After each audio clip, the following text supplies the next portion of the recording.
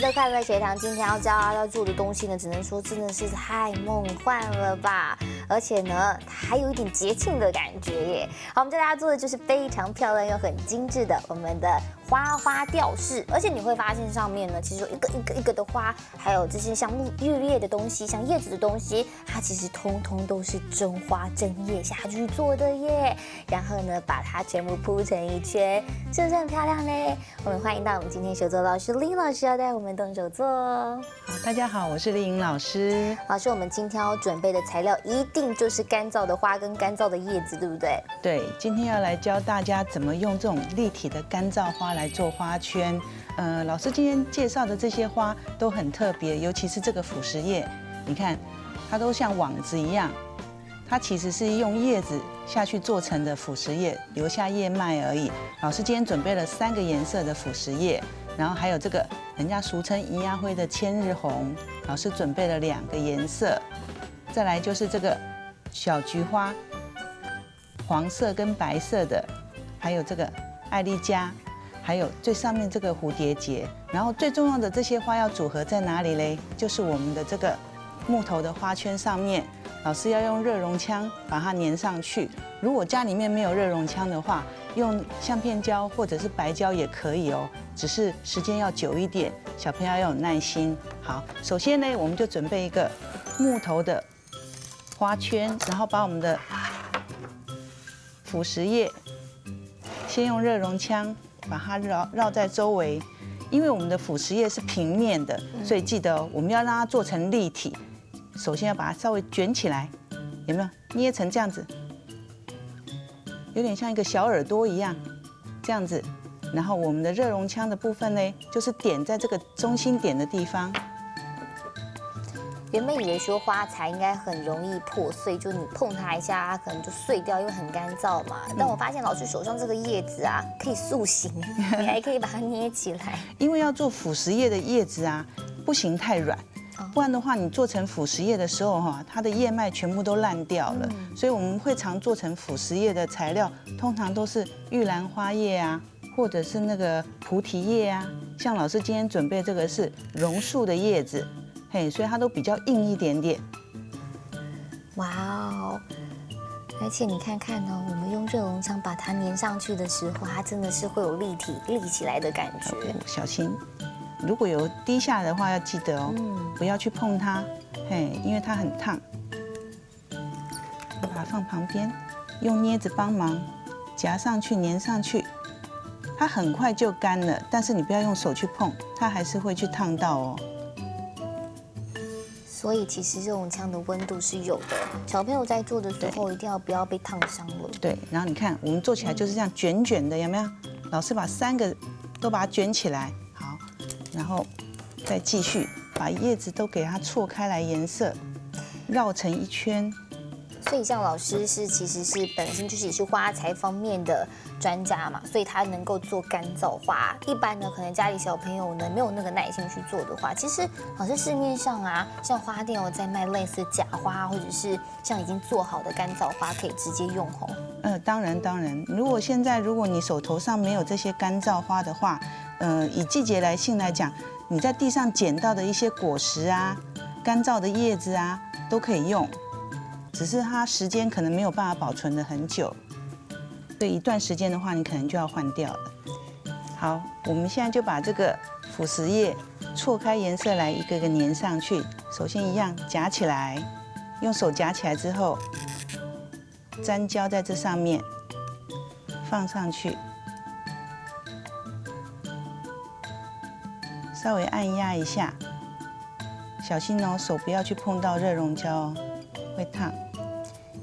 所以呢，我们现在其实呢，颜色呢也是特别把它交错摆放。我想问老师啊，原本它的颜色就是像这样子，又粉又绿的吗？还是说我们有特别呢是上了一些染剂让它变色的呢？它刚开始煮完之后嘞，这个腐蚀液它其实是有点黄黄的，所以如果你要上颜色的话，第一个要先把它漂白，哦，变成白色之后嘞，你再上染剂，它就会变成这种粉红色啊，或者是这种绿色的颜色。不然它原先都是一种脏脏黄黄的感觉。所以呢，我们要记得一定要先把它漂白过后，你想想各式各样五彩缤纷的颜色，其实都是可以的。对。那我们老师今天准备就是粉色、绿色，还有米白色。这个其实，在以前没有这个技术的时候，有些人是在山上的那个水沟里面呢，看到这种已经被脏水腐蚀过的叶子，后来才有人把它做成这种很漂亮的腐蚀叶来装饰。而且老师刚才有强调，如果我们真的想要自己去漂啊，或者是染色的话呢，有个重点呢，就是你必须要找叶子比较厚实一点的，或者就比较硬一点的叶子去做红。因为它这个是用化学颜料下去煮过，所以你如果太软的叶子的话，它煮完之后叶脉就已经散掉，就完全没有看到那个叶脉的感觉，像网子一样、纱窗一样的感觉了。如果大家仔细看呢，哇，真的所有的叶脉的脉络的纹路呢，都是还是非常的清楚的。所以呢，叶子的选择上面呢，也需要特别是选一些叶子比较硬啊，或者是说呢，可能是比较哇结实一点的叶子，这样去漂啊，化学作用过之后呢，才会维持叶子像这样子脉络那么清楚的感觉。要小心，还是会有一些拉丝。好，我们现在就把它这个样错开来，有没有？全部绕在这个大概一公分左右的地方，然后绕一大圈之后，才可以贴我们的主花。那我们现在已经有准备了一个新的，我老师已经把它绕一圈的半成品给大家看。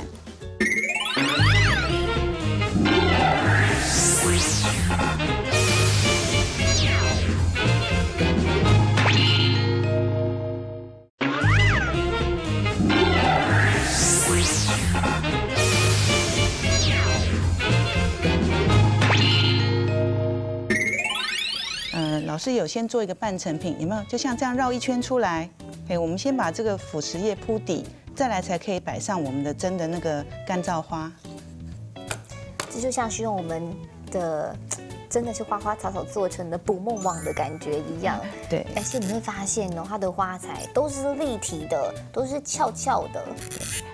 然后，呃，如果花材不是很小的话，像这个比较大朵，老师都会用手拿，直接把它粘上去。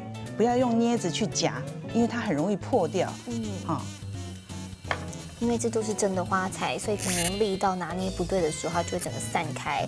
所以老师是比较建议你是用手指去捏它，用镊子的话，可能呢你力道不对，就会把它的花瓣扯下来。对我们这样花材的话，就是分开错开来放，千万不要太整齐。所以老师其实我们并不需要很规整去排列它嘛，对对对。这个部分倒是小朋友都可以帮忙的，然后再放上白色的，也是一样，把它错开来。因为热熔枪的粘度很够，所以你放下去，它就粘住了，你都不用去压它。哇，基本上呢，我们现在已经呢把我们刚才讲到的小菊花。然后通通都是不规则的这样子，哎，随机的拼凑，你就会发现它出来的感觉呢，有一点点乱乱的，但是呢，又看起来比较自然。好，快要好了。而且我看老师今天准备了很多颜色的花材，要去拼凑它吼。对，纯粹放白色的话，看起来也不显色，所以我们通常会拿对比色来来放。比如说，像我们今天还有特别准备了刚才老师讲到的我们的粉红色的花材，就是为了要让它的颜色整个更加突出来一点点。好，来，我们这个小菊花已经放完了，你看，这样子其实很丰富了。尤其老师把这个木头打了这个绿色的底，看起来就不会那么的白。好，那我们现在就把我们的千日红粘上去。一样，就放在白色菊花的周围。我们接下来呢，要开始做出一些色调上面的区隔。所以你看，老师拿出了千日红呢，看起来呢，哇，是不是突然间提亮了许多？呃，我要介绍一下千日红。在市面上，如果你买到鲜花是千日红的话，呃，你就直接把它倒掉在窗户旁边，它就干了。其实都不用什么去制作啊，泡药水啊，或者是压制都不用。所以其实我们在市面上面买到的新鲜的千日红，拿回家放到窗边，它就会自己日晒之后呢，就会变成像这样子，小小一朵，然后呢颜色看起来其实也是蛮饱和的。对，而且它有个好处是，它干了之后时间久了，它颜色还是蛮维持这种鲜红色的。哎，所以干燥花的制作，很多人还是会利用到这个千日红，而且市面上啊，它又便宜又好找。但老师，我想请问一下，就算我们是用干燥花已经经过处理过的后这样的花花草草去点缀它，可是最后我们是需要上保护膜的吗？因为如果像这样不小心碰到，会不会就掉下来？或者是说会不会到时候花材呢都会碎光光？呃，老师今天准备的花材是比较耐的。如果你准备的花草，譬如说是小玫瑰花，哎之类的花瓣比较大片，比较容易掉的，我会建议你可以用那个。法力香就是人家在喷头发有没有定型的？嗯，对你稍微给它喷一下，哎，它的效果也不错，维持会比较久一点。哦，如果大家担心说花材放久了，可能还是会哎突然间可能散开啊等等的，你可以呢像老师说的，拿出我们的定型液，稍微把它喷一圈，对，它呢维持的效果会久一点。OK，好，你看啊，其实这样子动作很快的，它其实已经快要完成了，有没有发现？哇哦！基本上花已经很满了，但是老师啊，为了要让它增加一点线条，我又准备了艾丽加，因为艾丽加是比较细碎的，你看，它一整根是这样子，所以我们用小剪刀把它剪成一小节一小节，穿插在这个大花的中间。所以呢，你看老师非常的细心，他今天呢准备了小剪刀，小剪刀呢就是要把一点点、一点点、一点点剪出来，像满天星的感觉吼。然后呢，我们穿插的放在我们的花材中间，而且它本身其实就有一点颜色了，对。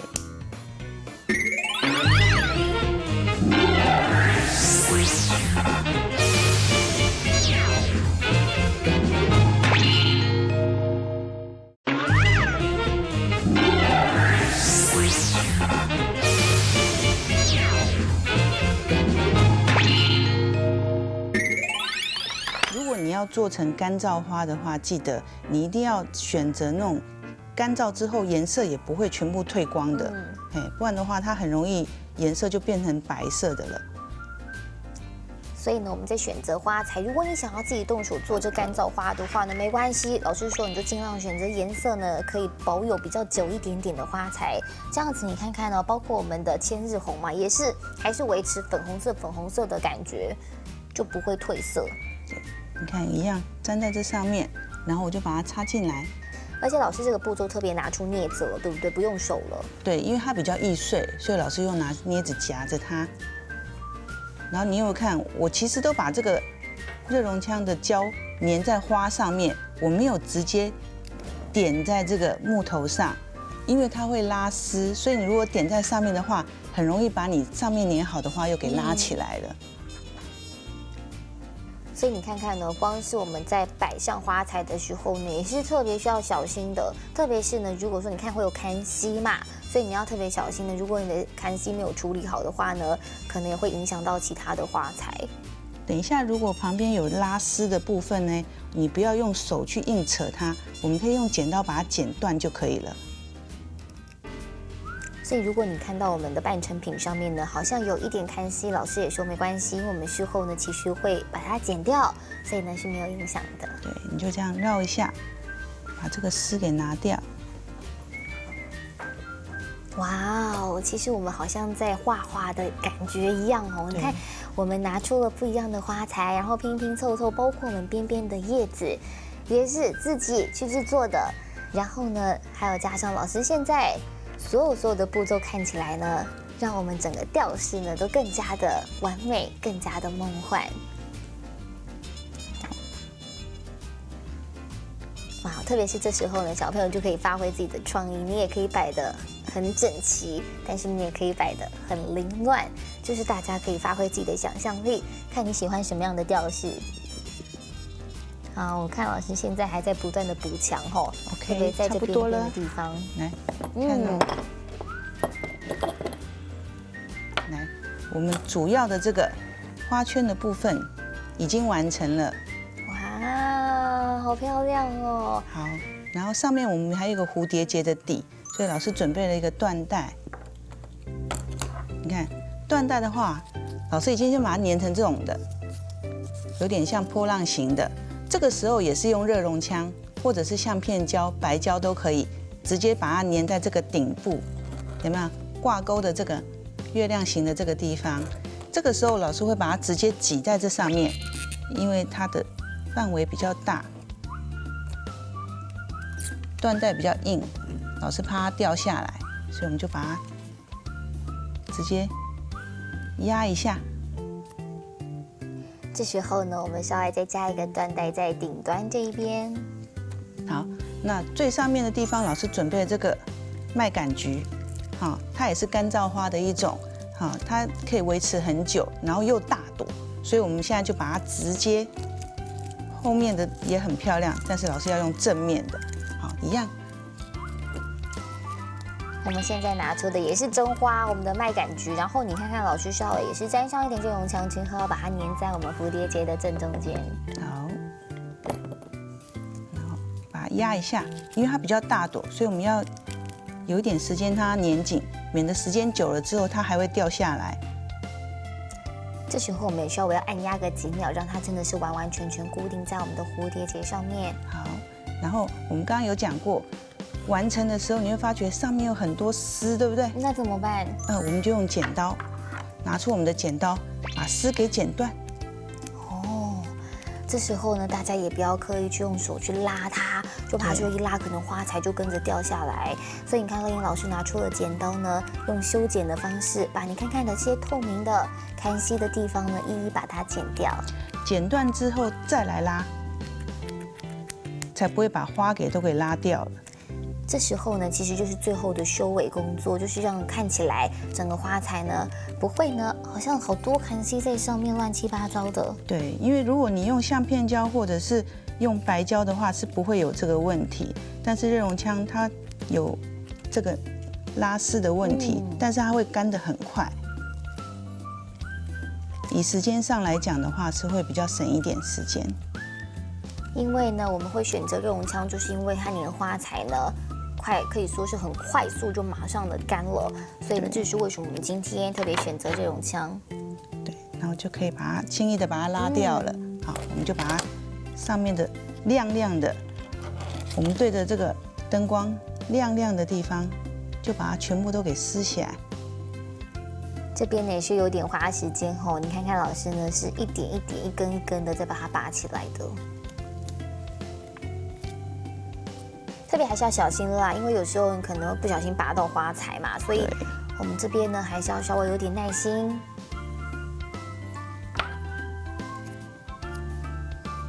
好，哇，这样子就完成我们今天的作品了。好，我们今天的。非常漂亮的，其实特别特别要强调是，我们是用真花呢下去一个一个自己摆好的。我们今天还要问林英老师说，我们在做这个非常漂亮的吊饰，我们有特别有哪一点是需要注意的吗？呃，首先呢，我们一定要把底部先铺好。有的人会先把这上面的花粘好之后，再把这旁边的叶子插进去。对，这样有个坏处是你的花很容易破掉。哦，对，所以我们通常会把这个底部都先铺了。有没有当做底之后，再把这个正面的花一个一个粘上去，这样子的话，正面的花才会完成它的那个饱和度。嗯，而且呢，老师有讲，如果你还是担心说我们只是单纯去拿真花去铺它，可能时间久了它可能就掉下来啊，或者是破碎啊，其实还是有办法可以挽救的，对不对？对，我们可以再增加它的花材。其实这个干燥花有个好处就是它坏掉的话，你可以把直接把新的花给粘上去。把旧的把它拔掉就好了，这样都还可以完整它的那个完整度，一个花圈的样子。哇哦，你看这漂亮的花圈呢，这个吊饰不管是放在哪里都非常的疗愈。那老师介绍一下这个腐蚀叶，因为大家对很好奇这个腐蚀叶是怎么做出来的。呃，基本上这个腐蚀叶的话，以在山上的话都可以在路边。或者是那种比较潮湿的地方会找到，可是问题它只是烂一点点而已，所以我们要做到这么漂亮的话，就要去到一些化学颜料，所以你可以到化工厂去买那个氢氧化钠，不过它有腐蚀的效果，所以要小心哦，要用。不要用到煮的锅子，就是你不要用的锅子，才可以拿来煮这个叶子。因为那个锅子煮过这个的话，就不能再用吃的东西了。然后你可以挑一些比较硬的叶子，你这样摸起来，那叶子很厚。很硬，你就可以把它拔下来，试着煮煮看，一小匙大概五克就可以了，就可以煮一锅，一锅大概两千 CC 的水，煮了一个小时之后嘞，我们就把它锅盖焖着，焖大一个小时，煮一个小时，焖一个小时之后呢，再把它捞起来，记得一定要戴手套，这个会伤手，所以一定要戴手套嘞，放在水龙头下去，然后放在那个。水龙头下面的水，用那个牙牙刷慢慢慢慢的把这个叶脉肉都给刷掉之后嘞，你就会呈现出这种像网状纱窗一样的效果。那有的人是说，那我刷完之后怎么没有那么漂亮的颜色？这个时候嘞，我们就要把它漂白。这个时候都不要弄干哦，就把它捞起来放在漂白水里面，你就发觉它的颜色变得很白，非常的白。但是不能泡太久，因为漂白水也是会腐蚀的，所以再捞起来，我们用布把它压干之后，用电熨斗烫一下。记得电熨斗上面一定要铺一层布，千万不能直接烫。铺完布烫完之后，你就发觉哇，这个就像这个白色的部分这样子，非常的白。如果你们家有彩色笔呀、水彩呀，你也可以把它调一调颜色之后，直接涂在这个白色上面。甚至于你还可以涂渐层的颜色，它就会变成这么漂亮粉红色啊、绿色的叶子了。但因为这是用真的花材下去做的，所以老师在保存上面是不是也要特别小心啊？呃，基本上这种叶子通常很硬，所以不需要特别保存。但是如果是其他的花材的话，尽量不要放在外面去晒太阳，因为它颜色会慢慢的褪掉，所以尽量放在室内会比较适合一点。因为这真的是下去用这真花真草去雕饰它，或者是去装饰它的，所以请大家呢，哇，千万呢是最好是让它保持它的原貌啦，不要嗯破坏到它的美感。